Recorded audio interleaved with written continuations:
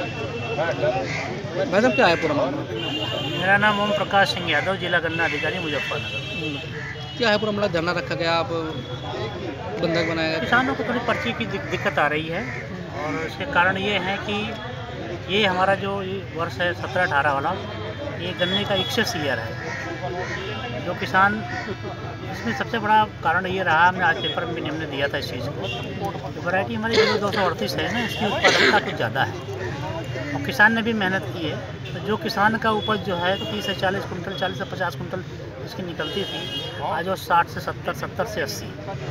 ठीक है? हम जो गन्ना आपूर्ति लेते हैं कैलेंडर के हिसाब से वो बेसिक कोटा के आधार पर लेते हैं। तो बेसिक कोटा किसान का एग्जॉस्ट हो रहा है धीरे धीरे आज यूनियन के कार्यकर्ताओं ने क्या किया? हाँ? यूनियन के कार्यकर्ताओं ने क्या किया? नहीं यूनियन के कार्यकर्ता ये हमारे सम्मानित सभी लोग किसान हैं इसमें कोई दिक्कत नहीं। और जनप्रतिनिधि संगठन है ये।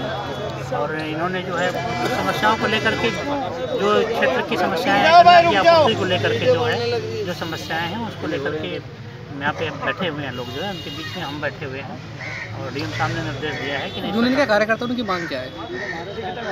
मांग है कि किसान का गन्ना जो है समय से आपूर्ति हो जाए उनका गन्ना मूल्य भुगतान समय से हो जाए उनका जो किसी तरह की दिक्कत ना हो यही मांग है। आपने क्या आश्वासन दिया सॉल्यूशन बैठ करके चीनी मिलों को बीच में इसका सॉल्यूशन बैठ करके निकाला जाएगा कि जो पर्ची कैसे नहीं पर्ची आ रही कैसे फ़िल्टर नहीं चल रहे हैं सारी चीज़ें दिक्कत बैठ करके। क्योंकि चीनी मिल एक बहुत अहम हिस्सा है इस, इसका जो है किसान है और विभाग है और चीनी मिल है। ट्रेंगल है इसकी भी बहुत अहम हिस्सा है। तीनों लोग बैठ करके बात करेंगे तो इसका निराकरण हो जाएगा।